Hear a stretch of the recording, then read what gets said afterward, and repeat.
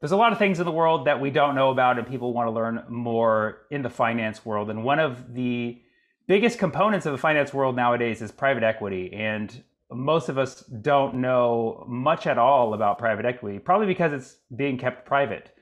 Uh, but here today, we have somebody who is an expert in the field and also recently had a run in with a big private equity company. It's been in the news. He's an economist and a professor at the Saïd Business School in Oxford. Everybody, welcome Ludovic Phalippou, aka Ludo. Yay! I like your cheer. Thanks so much for joining us today. Um, so you study private equity. That would you say that that is your biggest focal point as a professor, as a yeah, human yeah, being? I, it's it's it's I, I I do that for breakfast, lunch, and dinner. I do that all day. I I, I teach only private equity courses. I everything I do is private equity. Have you gone mad only studying private equity it's 24 weird, hours right? a day? Like, like I'm, I'm, I'm very impatient and, and um, hyperactive. And, and so to think that I spent the last 18 years on, on one topic, it, it's, it's quite crazy. But, but so there are different aspects of private equity. Uh, like right now, I'm writing a, a, a paper about care homes during the COVID-19 crisis and comparing whether, you know, the ones run by private equity did any different or, or things like that.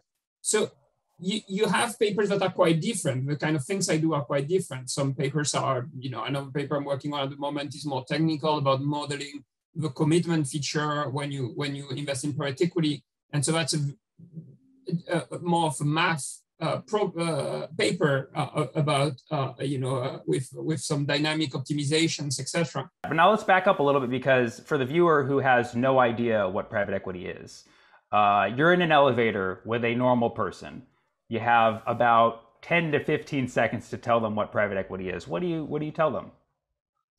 I, I walk them through a street. I say, just come out in the street, and about one uh, in two shops you're gonna see is is owned by a private equity fund. So, Really? so if you walk out, like about eh, about any restaurant chain would be owned by private equity. Um, uh, nowadays, quite a lot of hospitals are owned by private equity uh, airlines, car rentals, um, amusement parks, uh, airports, you, you, name it. And so um, I, I do it with my students in Oxford on my first slide, the first course, is that the water we are drinking here is Thames water, and that's owned by private equity. Um, when you walk out of the school on your left-hand side, there is something called Kwik Fit, which is like for cars, uh, like to change tires and so on. That's owned by private equity. And the restaurants you see in front of you, Pret a Manger, the entire chain is private equity. The one next door, Pizza Express, is private equity, and so on and so forth. So I walk them through the street. Boots in the UK as, is a pharmacist owned by private equity. Most pharmacists also uh, in the US are owned by private equity. I, am sorry to interrupt, but we just do have to back up just a little bit because you had 10 seconds in an elevator and instead you walked us out of the elevator and said, hey, look, everything here is owned by private equity or yeah, one out of half, yeah. one out of two, half. You said so that's about a true stat. One out of two businesses or you know entities it's controlled by private controlled by private equity. Okay, that still doesn't tell us what private equity is. So, so, we do need to understand who they are. Who are these people who are controlling half of the world? So, so they would be. So think of them as mainly MBA students. When it comes to the larger end of private equity, it's actually the statistics is half of the partners are MBA uh, have an MBA degree, and half of the people with an MBA degree have it from Harvard University. So if you wanted to think about who's really te- technically what are these guys doing effectively, effectively this MBA from Harvard are sitting on the boards of companies that they and they they they got into control of these companies sitting on their boards using other people's money. Yes. Right. So and, yeah, so, and their goal is to make as much money as possible for the people who gave them the money and they will take a big stake of it and so make money for themselves. So the goal okay. of the game is yeah. making as much money as possible. So in a sense, private equity is like Kickstarter if Kickstarter went to Harvard. Yeah. you kind of already told us why we should care about private equity because they essentially own half of all businesses. Um, is there a more uh, direct way that they affect us on a daily basis? Well, so so I mean, it, it's not half of the businesses in America because they tend to be in smaller businesses. They tend to be more in these. It was like when you walk in the street, most of these chains are are, are like in, in, the streets are, are, owned by private equity, but the their, their share of the U.S. economy is still only like five five to ten percent or something like that. They there are in the U.S. about 10 million people that work for private equity. So why should should, should you care? You, you should care uh, from from many aspects. So um, you should care if you're an employee, for example, because chances are your company is controlled by a equity firm and you want to know how these guys work. Um, it's important that, because you said it's, it's terrifying. It, it, it, it can be great to have very talented people with an MBA from Harvard sitting on the board of company and running it in a much more professional way potentially than, than non-Harvard MBA. So, so it can bring a, a lot of good. Um, so you, you, you, as an employee may care, uh, as a customer, you may care. So for example, there are some studies that look at whether, you know, when private equity takes over supermarkets, do they increase prices? Would, do they do they reduce the, the choice uh, of products, like these sorts of things? So uh, I, if you go to hospitals, does it matter that your hospital is private equity owned or not? If you go to a care home, does it matter? Um, do they do they run their businesses different? Is it is it a different deal for customers? Whatever you do in life, more or less, you you you want to know how equity works. Equity owns like TV channels and and and and media and so on. So even you, in your job, uh, knowing what private equity does, you know, recently there was a big thing with Taylor Swift, where you know equity bought all of the rights, all of her copyrights of this of her songs. Um, you even if you're Taylor Swift, you want to know, and she got to know how private equity works. So even musical artists are owned by private equity. it's a Taylor Swift. Is Justin uh, Bieber controlled by private equity? yeah. Is Bieber's controlled by is Justin Bieber controlled by private equity? Because that would, that would explain checked. a lot of his songs. I haven't checked. You, you're saying that private equity could be a good thing. It could be a bad thing. It depends on the actions or choices of these individuals who are controlling these enterprises. Now, of course, you said the prerequisite, aside from going to Harvard, is these people they need to know how to raise money. They need to be good at private equity. But does that necessarily mean that they are good at running a business? The goal of the game is pretty simple. Would be, Sammy, you're telling me you have a great idea for a show, okay? Mm-hmm. You're going to put all your savings on the table. You're going to put all your savings on the table. And, and if your show works, I'm going to multiply that by 1,000, okay? So I will cover you in gold if it works. And if it doesn't work, you have lost everything you have. Okay. so do you want a deal? And I can make it happen, but do you want that deal? And so that's pretty much how private equity works is that I can make you extremely rich, like beyond what you can imagine. But if it works, okay? So all the people you're going to attract are people, you have the best lawyers working private equity, the best accountants, the, the best tax people, the best at everything. So, and, and they will make tons of money only if the business that they took over, they, they, they control, when they leave it is worth more than when they came in, right? They, they take, they can do it on a house, they, they go and control a house, they organize repairs and everything. And then when they sell this house, it needs to be sold for a higher price so that then they can get very rich. So they are very good at that. And they do that extremely well. One issue is that they, they, they, they keep most of the gain to themselves, maybe not give enough back to the pension funds to give them the money and so on, which is something I've, I've, I've worked a lot on. But, but are they good at increasing the value of the business? Yes, they're like the best at that. Like there's no way you can beat them. But but is that necessarily good for employees? Is that necessarily good for customers? Is that necessarily good for society? That's a very difficult question, right? And what we find is that it depends on sectors, apparently. So we have studies that look at equity in the restaurant industry. And you know, when people want to make money in restaurants, they should not run restaurants to the ground. So what we see they do is that they are much more professional. They make sure the restaurants are clean. They get better hygiene ratings in the US, etc. when they are taken over by private equity because they want to sell these things at a higher price. So they need to make sure they have good ratings on TripAdvisor and so on and so forth. It seems as if when there's some level of accountability, they are held to a certain standard. But for instance, you said the restaurant industry, they have to make things better because in the restaurant industry, there's Yelp, right? the the one weapon against private equity or keeping them in check is Yelp, right? I mean, there's no Yelp for hospitals, there's no Yelp for schools. So, in a sense, a star rating system is a way to counteract the actions of private it's, equity? It, it's a very good it, it's a very good thought. Um, we don't have quite the answer to that. There is a wave of paper now looking at, at equity and society, societal impact. It, it's actually something pretty rare, pretty recent. I mean, the last five years, people have started to study these questions. In the past, people were more interested in is, is private equity increasing the profit of companies, increasing margins or things like that. But the last five years, a, a lot more about the society impact. And I think that the, what the, the picture we're starting to see emerging is that it is indeed what you say. The way we would say it as economists that it may depend on the competitive environment. Uh, so if you are in a very competitive environment, having some equity guys is good because these guys are just, you know, they, they are held accountable, like you said. And, and their genius is gonna is gonna and their talent is gonna is gonna mean that they're gonna improve things.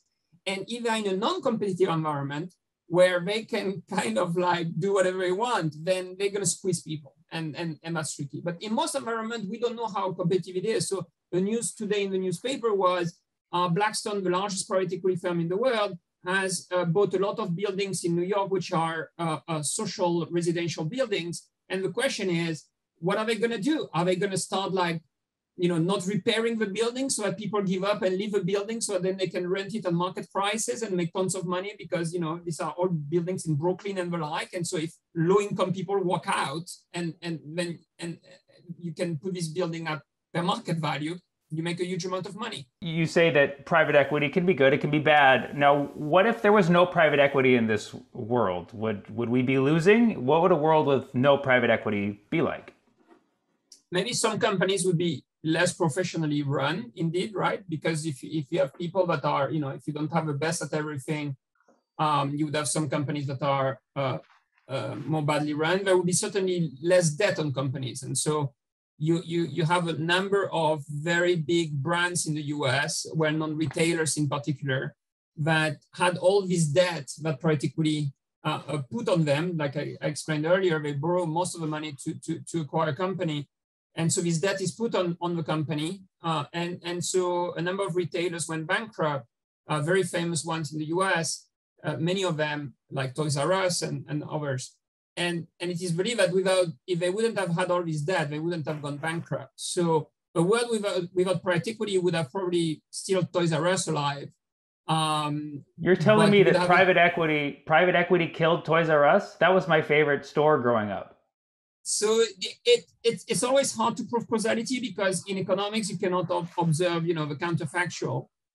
It, the, the test would be absent this amount of, of debt, was Toys R Us able to pay their bill or all of their other bills? And it looks like, yes, Toys R Us would have been able to pay all of their bills if we wouldn't have been for that debt uh, uh, uh, that they had to repay. Now, when when so, so so so then you know the simple answer of the simple test would be then Toys R Us was killed by excess debt and and and and that was put on there by private equity. This is yeah. This is I now do not like private equity. Um, you've officially. But there are different types as well changed. of private equity, right? So you have you have the, the, the, what we call leverage buyouts, which is what Toys R Us was. Uh, but you have also private equity, also venture capital. So that's the private equity, all your favorite websites and tech and everything is, was all funded by private equity. So Google and Zoom and like all these guys are, are all private equity. So this conversation right now, this conversation right now is being owned by private equity. yeah, yeah. And what is the difference between venture capital and private equity? So it's the same mindset. It works the exact same way. It's still a bunch of people. They're not so much from Harvard. So in, in venture capital, you have more people from Stanford, but uh, and MIT. But but but but it, it's the exact same setup, um, except that you tend to instead of targeting companies that are like Toys R Us, more bigger companies, more mature companies, you target nascent companies. So you target people like at the beginning of Google when they say, we think we have a search engine, we think we can expand on that. And then, and then these private equity guys come in and say, okay, I'm going to sit on your board and I'm going to help you. But for that, I'm going to like, you know, take a stake of your, of your business. Like if it works out well, I'm going to take a, a big stake of that. And I'm going to help you financially because I know all these pension funds and the like, so I can raise all this money for you to help you expand. And because I have a network like you could never dream of, like I know everybody uh, on earth, like for your business, I know who you should talk to. There's a guy in Sweden that did something like that. I, I, I, I, I'll put you in touch with that guy. And then another one in Australia that I know that, that could help you for another aspect of your business. So the private equity guys are going to come in, sit on your on the board of these nascent companies, and then like put, use their network to put you in touch with the right people. They're going to raise money and to give you money to, to expand, etc. And again, if it works out, they're going to make tons. You're going to make some money um, and the obsession is trying to get this company worth as much as possible. Same thing, it, it's less controversial than venture capital because you think like, oh, that's not scary. That sounds actually pretty cool and, and angelic.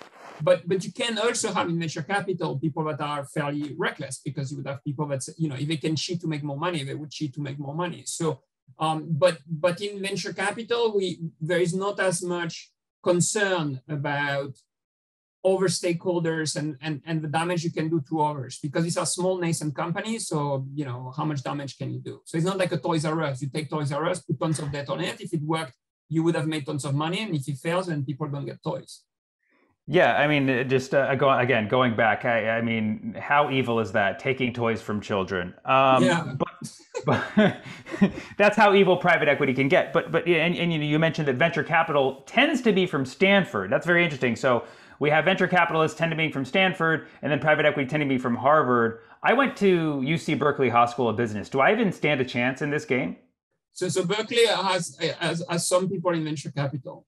But Berkeley people traditionally are not too keen on leverage buyout. Leverage buyout is really like it's it's it's, it's capitalism on steroids. Like right. it, it's the ultimate. If you think like you know, the ultimate capitalist is, is, is private equity, right? Because this is exactly yeah. what it is. It's like the rule of the game here is to make money, and as we are obsessed with making money, there are some businesses we make great because to, to make money, we need to make a great business. And there are some other businesses where to make money, we're going to take a huge risk. And then if it doesn't work, then it's other people who pay the losses and, and a bit us, but, but a lot I would of just, people as well. I would just like to give a shout out to UC Berkeley for teaching us ethics in the first year. So um, that is something we, we that have, we take. We have good ethics course too.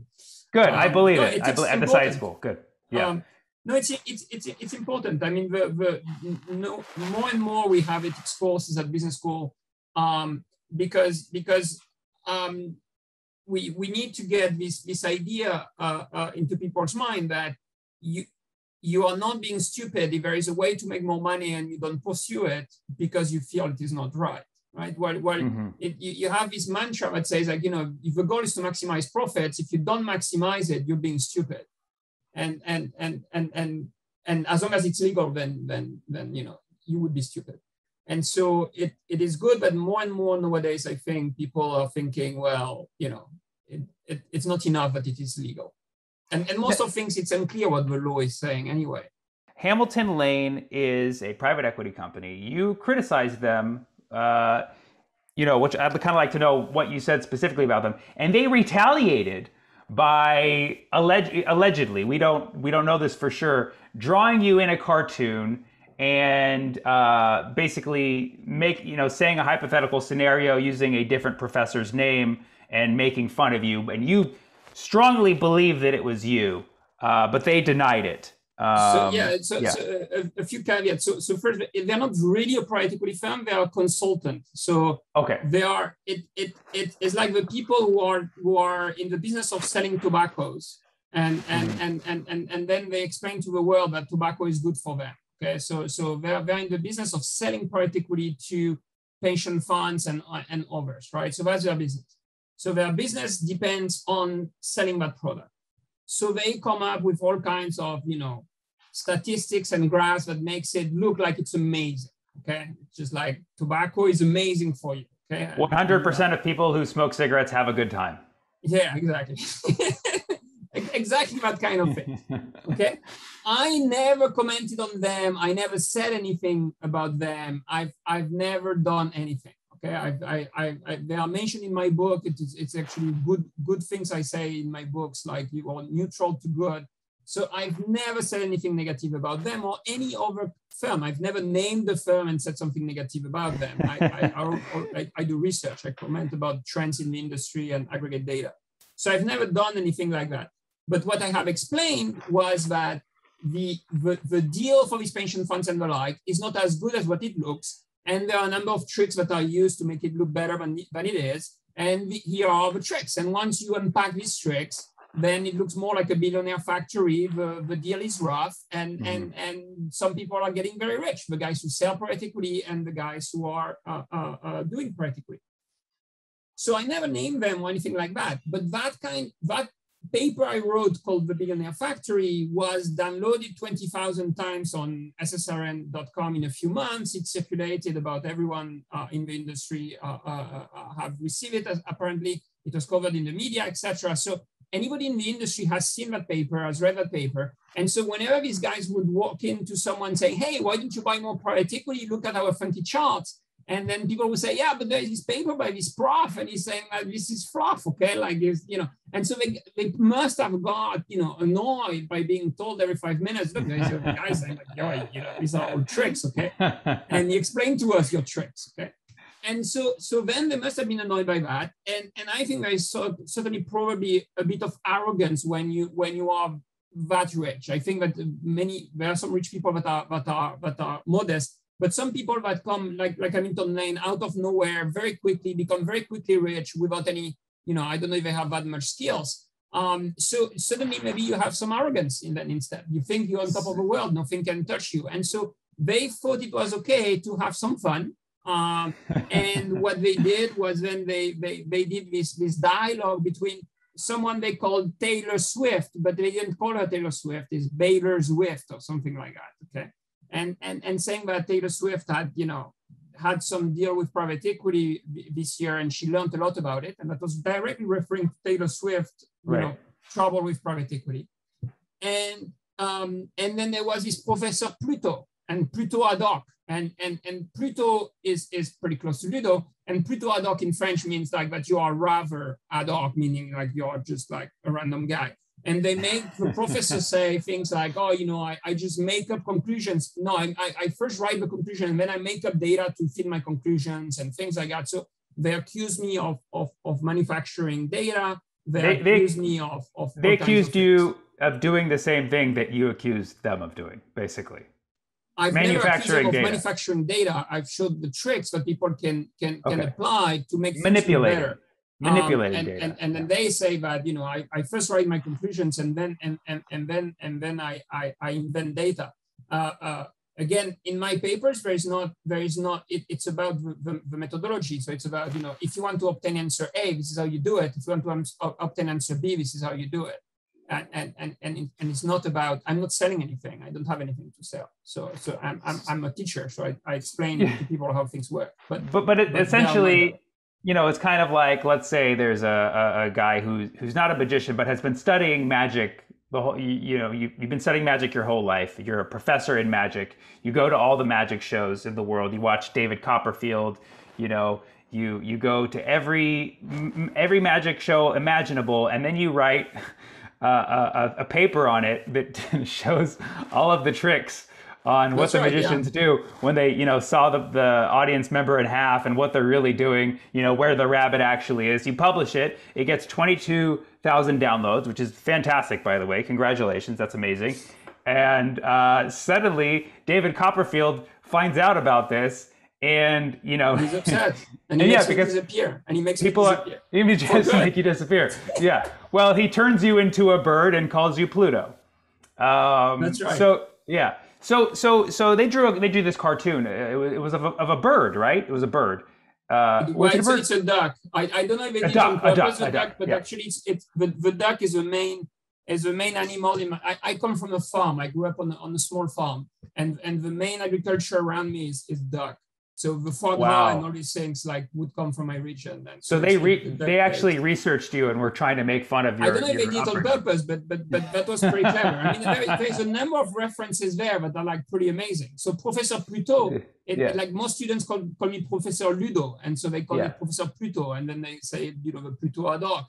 Uh, they refer they refer to France like twice. Um, right. Like you know they, they write in French. They make me say something in French. So if you narrow it down to how many people are professor are studying private equity and can speak French, you're already down to a sample of right. down to a sample right. of one. Right. Um, and and you, you, you bring everything else. It's absolutely impossible that it was anyone else. But. I have three final questions for you um, because this has all been so informative, and I think just the average viewer has gotten a lot out of this already. Somebody who didn't know anything about private equity. First of all, uh, you know, I'm I'm an average guy. I have some money. Can I invest in private equity? No, but you probably are already without knowing. So you you you may have a pension uh, somewhere somehow, and so that pension money might very well be in private equity. It's almost surely part of it is in private equity. Um, so so so you, you you can have some indirect exposure. Um, if if you are if you don't have more than like one or ten million dollars, you it's very it, it's feasible to invest in private equity, but it would be very cumbersome. It, it's, it's almost impossible. So uh, my next question is, uh, average person. Um, you know, you already told us what private equity is and your thoughts on it. What should we know? What should we take away uh, about private equity? Like, what is the main thing that we should be but, aware but of or no? But you should be informed. But you, but, but, but you should buy my book, Equity Laid Bare. Um, buy, okay, so then, buy Ludo's and, book. And, That's what it is. Yep. now, number one, subscribe to my podcast series. Okay, number two, um, so I, I, I think, yeah, to try to get educated, you need to know how they work because they're everywhere in your life. And, and, and, and it is a problem if, if people say, oh, but it's, it's finance, it sounds boring, it sounds bad or good or whatever, but I, I'm not interested. And it's my bias as a finance teacher. I think it's such an important element of life that you need to know about it. Fantastic. So be, and we, be informed, be educated be informed and we we but by the way we'll plug your book and your podcast in the and careful uh, of your sources okay if, if if you want to know more about tobacco's uh, uh, effect on health don't don't go maybe to a tobacco seller don't go to Slamilton Bain uh, Consulting. And um, if you hear of a Professor Pluto, don't trust them. They're not a real professor. Just a kind of a follow up of that same question. So, so you know, given that it's important for us to be informed, what can we all do as a society to make private equity better or make it the best that it can be for all of us? So once you are informed, I can, I, I guess, but, but in the US it's a bit tricky because I guess the usual route would be okay. You you can you can talk to your senator, you can lobby senators, you can lobby your pension fund. You can you know once you have the information, then you can tell your pension fund, look, I I, I don't want you to just hire a consultant and do whatever they say when they have such bias incentives to sell you an expensive product and and uh, and you go to your senator and say, you know, I want a law like they passed in the, in, in in California, following some of my work, uh, saying, you know, we need to have transparency of fees so that we know how much different uh, uh, uh people charge for different financial products, so that like it's clear to everyone how much things cost and so on. Once you're better informed, you can lobby your your uh, uh, representatives and, and, and your pension fund and, and, and, the like, or the university endowments, you, you and, and, and, and the like. So, so, so I, I think that again, the route is to be informed, and after that, it comes a bit more naturally. In the US, the problem is that most elections depend on money that is being raised, and the money, the number one contributors to politicians in the US right now are private equity professionals. It's actually the number one contributors to politicians. So you know you can lobby the politicians uh, for some things, but if it's private equity who pays their campaign, then... you're already beat. Yeah, they've they've already they've already outnumbered you. So, but uh, at least yeah. if you are informed and you know the situation and you know who they are and that they are paying for some politicians more than others and things like that, then you know maybe you can you can vote a bit like. So, so then maybe maybe a, uh, another strategy is to look up your politi- uh, your your local politician, whoever your senator is, see how much they've been bought out by which different private equity companies, and uh, call them out. Tweet tweet about it. um, because that might get their attention. I'm writing a paper, for example, right now on the question of how is it as an employee to be working for a private equity firm versus not, right? So one mm. of his things that 10 million people in the US working for private equity, is it a good thing for them or not? And we have scrapped uh, um, um, Glassdoor uh, and we have thousands of reviews that talk about private equity and how people feel about the acquisition and, and the new sponsorship or control. And, and, and we use advanced uh, language uh, uh, uh, analysis tools to take out some themes and see what is it that people complain or are happy about when equity comes into their company and, and the like. So just following what you said, if people put more things on, on, on things like Glassdoor, thinking about, oh, I have a new owner, this owner is this type of that type, or you know, and even within equity, you have some very good guys. We have in our data people that whenever they take over a company, employees are happier, and you have some right. guys that whenever they walk in, people are upset. Um, Those and, the, the good ones so, are the ones who went to Berkeley. yeah, the good ones are the ones who went to Berkeley. I mean, but Berkeley has a very big social tradition, so so I wouldn't be surprised if that, that came out in the data. Um, but but you you you if you indeed put more on Glassdoor, if you're better informed and you put reviews in Glassdoor saying, you know, the, the, the, I, I see what these guys are doing and I understand what they are doing and I can explain and I can voice it and I can do some, you know, that can take you a long way indeed, right? Um, wow. So, so yeah, maybe that's one of the things that people can do once more they're informed apps. just to. Yeah, so we need more apps in which people can um, you know express their opinions and i, you know, I think on... they exist I, I, don't think it's a new business niche i think the, the, apps already exist and people can then just use the existing I, ones to uh, i think we can use more i mean like you know like we said there's yelp for most businesses but there's okay. not there's like there's not you don't have one that's specific for hospitals Okay, well, uh, maybe maybe you know you, you need to call a venture capitalist to raise some. Money. That's what I was going to say. That's you, you, you you took my joke, Ludo. Thank you so much. The joke was we need more apps so that people can keep the the uh, private equity in check. So to get that app, we'll need some money. We'll call the private equity, and then we'll be back full circle. That I'm was the joke. I'm very sorry for burning your it, line. It's it okay. You're too big. It was it was it was clear. Yeah, you're you're you're you're a natural comedian. You just plagiarized. Uh, so I did translate it in French. Yeah, exactly. But but this has been such a pleasure. The last thing I want to ask you, I know you're a fan and connoisseur of wines. Okay, if you had 30 seconds to a minute to describe private equity or what you feel is important about private equity using a wine analogy, what would you say? Uh, I, I, don't know. Um, we'll have to cut here. Um, you can um, we can re- reconvene, you know, in 48 hours if you want to come up with it. But I'm sure no, you can I, come up with something. So I have it. I'm yeah. gonna, yeah. but I'm gonna be very rude then. Um, no, it's fine. I would say it's the difference between Australian wine and French wine for most of it. I'm just gonna slightly caricature. I mean, and within French, I'm gonna take like French wine from my region, like the Languedoc and Gaillac, or what we call the Southwest. So if if if you buy a, an, an Australian wine, typically uh, blindly, it is more pleasant to drink. Okay, it's it's it's it's nicer. But to get to this more this nicer wine that you're willing to pay more for, okay, then you know maybe they have you some tricks. Okay, they they they use you know you know you can you can create any kind of aroma in wine okay you can just like drop mm-hmm. it in you know like you can mm-hmm. do anything you want okay you can right. recreate a tannin sensation you can eliminate the tannin you can do anything you want okay and in the, in southwest uh, uh, french wines would just be raw okay? They would just be like what what they're supposed to be. And so they're not like for non-connoisseur or something they're going to be a bit rough they're going to be a bit heavy and they're going to be a bit you know. And but they are un, untampered right? Uh, uh, and so so i would say that that that that's the difference. So so private equity will know how to make things taste very good for you but they feel good so that they can make more money out of you. Uh, and and and the french version would just be you know like uh, you get the real thing that's amazing. And I, I just uh, on Google, an article popped up from an Australian wine company that has you depicted as a kangaroo.